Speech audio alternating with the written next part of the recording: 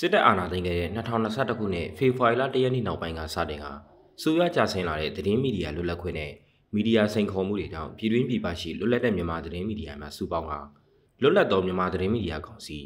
Independent Press Council မြန်မာ IPCN ဖွဲ့စည်းခဲ့ပြီးနိုင်ငံတကာနဲ့ချိတ်ဆက်လှုပ်ဆောင်သွားမှာဖြစ်တယ်လို့ IPCN ကထုတ်ပြန်ထားပါတယ်။လွတ်လပ်တဲ့မြန်မာသတင်းမီဒီယာကောင်စီ IPCN ဖွဲ့စည်းနိုင်ရဲ့အတွက်ဒုတိယအကြိမ်ညီလာခံကိုထိုင်းနိုင်ငံတနေရာမှာဒီဇင်ဘာလ20ရက်နေ့ကနေ22ရက်နေ့အထိကျင်းပခဲ့ပြီး ပြည်တွင်းပြည်ပရှိလွတ်လပ်တဲ့သတင်းမီဒီယာ38ဖွဲ့နဲ့တတိပုဂ္ဂလသတင်းမီဒီယာသမားတွေတက်ရောက်ခဲ့တယ်လို့သိရပါတယ်။အဲ့ဒီညီလာခံမှာကောင်စီရဲ့အမှုဆောင်ကော်မတီဝင်များအဖြစ်ကောင်စီဝင်10ဦးကိုရွေးကောက်တင်မြှောက်ခဲ့ပြီး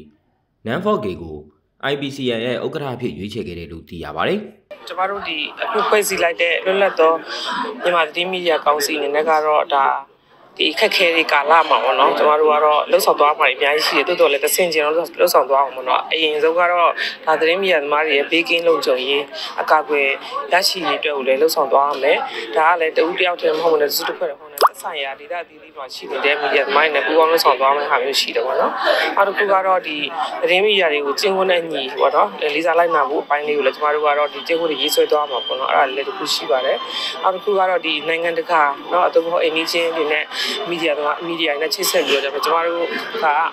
အမြန်မာနိုင်ငံရဲ့လွတ်လပ်တဲ့သတင်း media တွေကိုကိုစားပြုတဲ့စုဖွဲ့အနေနဲ့ကျမတို့ကတော့ဆက်လက်ပြီးတော့ချိတ်ဆက်လှုပ်ဆောင်မှုတွေလုပ်သွားရအောင်ပေါ့နော်။အဲ့ဒါလေးတော့အရင်ဆုံးဦးဆုံးလုပ်သွားမှရှိတယ်။ဆိုတော့နောက်တစ်ခုမှာတော့ကျမတို့ကဟိုပါပေါ့နော်ဒီလက်ရှိစစ်ကောင်စီလက်အောက်ကဒီသတင်းမီဒီယာကောင်စီကတော့တရားမဝင်ဘူးဆိုတဲ့ဟာကြတော့ကျွန်တော်တို့ဘာလို့ကိုစားပြုလဲဆိုတဲ့ဟာကြတော့လက်ရှိဒီစစ်ကောင်စီလက်အောက်မှာရှိနေသေးတဲ့ အာသတင်းမီဒီယာတွေကလွတ်လပ်စွာဒီ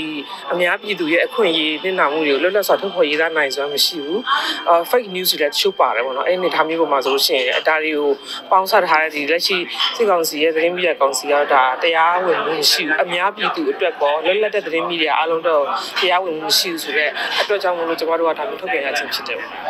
လွတ်လပ်တဲ့မြန်မာသတင်းမီဒီယာကောင်စီ IPC ရဲ့ညီလာခံကိုတက်ရောက်လာသူတွေဟာ စစ်ကောင်စီကမတရားဖမ်းဆီးထိန်းသိမ်းထားတဲ့သတင်းမီဒီယာသမားတွေကိုချွင်းချက်မရှိလွှတ်ပေးရန်တောင်းဆိုခဲ့ပြီးစစ်ကောင်စီလက်အောက်ခံသတင်းမီဒီယာကောင်စီဟာလွတ်လပ်သောမြန်မာသတင်းမီဒီယာတွေကိုကိုစားမှုမရှိတဲ့အတွက်တရားမဝင်တဲ့အဖွဲ့အစည်းဖြစ်တယ်လို့ဆုံးဖြတ်ကကြေညာချက်တစ်စောင်ထုတ်ပြန်ခဲ့ပါတယ်။ဒါအပြင်သတင်းမီဒီယာကောင်စီရဲ့အဓိကရည်ရွယ်ချက်ဖြစ်တဲ့မြန်မာသတင်းမီဒီယာလွတ်လပ်ခွင့်မြင့်တင်ရေးသတင်းသမားများလုံခြုံရေးနဲ့အကာအကွယ်ရရှိရေးမီဒီယာကျင်းဝင်များရေးဆွဲပြဋ္ဌာန်းကလိုက်နာကျင့်သုံးရေးသတင်းမီဒီယာကောင်စီရဲ့တရားဝင်ရည်တည်ရေး ဒေတာတွင်းနဲ့နိုင်ငံတကာသတင်းမီဒီယာကောင်စီတွေနဲ့တရားဝင်ချိတ်ဆက်ဆောင်ရွက်နိုင်ရေးတွေကိုလည်းညီလာခံမှာဆွေးနွေးဆုံးဖြတ်နိုင်ခဲ့တယ်လို့သိရပါတယ်။ ဟုတ်ကဲ့ဟိုလက်ရှိမှာဟိုအားလုံးလည်းသိကြပါပါတယ်မြန်မာနိုင်ငံရဲ့သတင်းမီဒီယာသမားတွေပေါ့နော်အထူးသဖြင့်တော့လွတ်လပ်တဲ့သတင်းမီဒီယာသမားတွေကနေရဟိုဘောနော်ဒီလွတ်လပ်လုံခြုံစွာဘေးကင်းလုံခြုံစွာသတင်းမီဒီယာလုပ်ငန်းကိုလှုပ်ဆောင်ခွင့်မရှိဘူးတစ်ဖက်မှာလည်းအာလုပ်ငန်းကိုရပ်နာသွားလိုက်ရတဲ့သတင်းမီဒီယာသမားတွေအများကြီးရှိတယ်ပေါ့နော်ဆိုတော့ဒီအင်အားနည်းနည်းနဲ့ကျမတို့ဒီဟိုဟာသတင်းများကိုကျမတို့ထုတ်ပြန်ရတယ်ပို့ပြီးတော့အခက်အခဲရှိတာက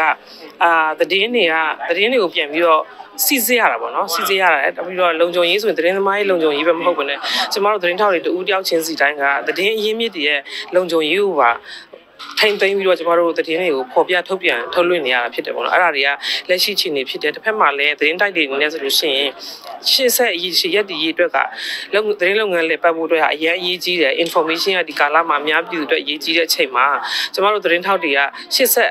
အများကြီးလှုပ်ဆောင်သွားဖို့လိုအပ်တယ်တစ်ဖက်မှာလည်းအဲ့ဒီရဲ့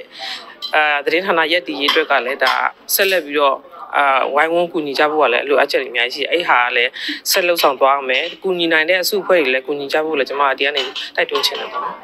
IPCN ဟာဒီမိုကရေစီနည်းကျဖွဲ့စည်းလိုက်တဲ့လွတ်လပ်တဲ့သတင်းမီဒီယာကောင်စီဖြစ်ပြီးလွတ်လပ်တဲ့သတင်းမီဒီယာတွေတိုင်းရင်းသားမီဒီယာတွေဒေသအခြေပြုမီဒီယာတွေကိုကိုစားပြုဖွဲ့စည်းထားတဲ့တရားဝင်မီဒီယာကောင်စီဖြစ်တယ်လို့ထုတ်ပြန်ချက်မှာဖော်ပြထားပါတယ်။